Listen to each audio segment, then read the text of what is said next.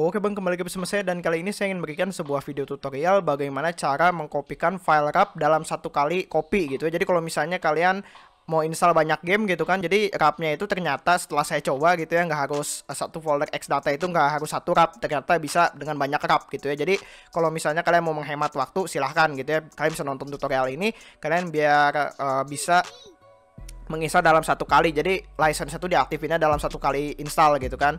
Dan di sini kita akan langsung saja mencari folder RAR-nya di mana gitu kan. Karena di sini saya sudah punya uh, folder X data di sini dan ini RAR-nya ada semua gitu. Ada banyak juga lumayan. Di sini kita akan copy saja langsung dan di sini kalian cukup pilih flash disk atau mungkin hard disk eksternal kalian bebas gitu kan.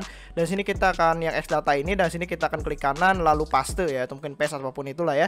Dan sini kita akan replace gitu kan kalau misalnya ada yang sama atau mungkin kalau misalnya ada yang sama kalian bisa langsung langsung skip aja ya.